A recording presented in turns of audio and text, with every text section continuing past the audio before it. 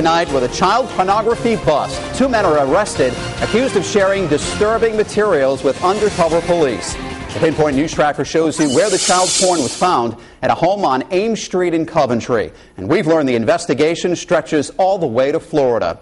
Eyewitness News reporter Catherine Sotnick joins us now live with tonight's top local story. Well, Mike, Mike, state police tonight are asking for the public's help because at this point they do not know who two of the victims are.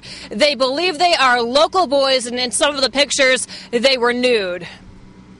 This is a Coventry home raided by police yesterday after they say two young men who lived there had hundreds of pornographic pictures and video of young children. 23 year old Matthew Craig, police say of 50 Ames Street in Coventry, the focus of their investigation. Checked his computer and other media files and observed that he had contained uh, hundreds of child pornography pictures and videos. Also arrested his roommate, 24 year old Kenneth Gerard, who police say also had child porn on his computer.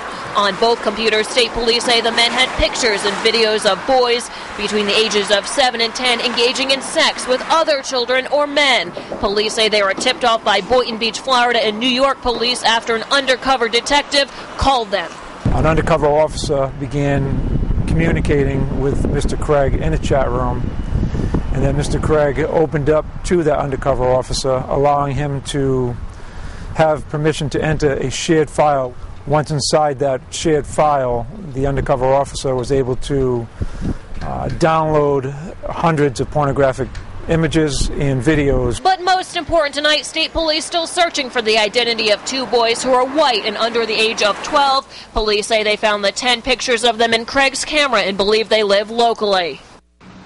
And police say if you've had any contact with the two suspects and may know who the victims are, obviously to give state police a call. Both men tonight have been released on bail. Reporting live tonight with the Mobile Newsroom, I'm Catherine Sotnick, Eyewitness News.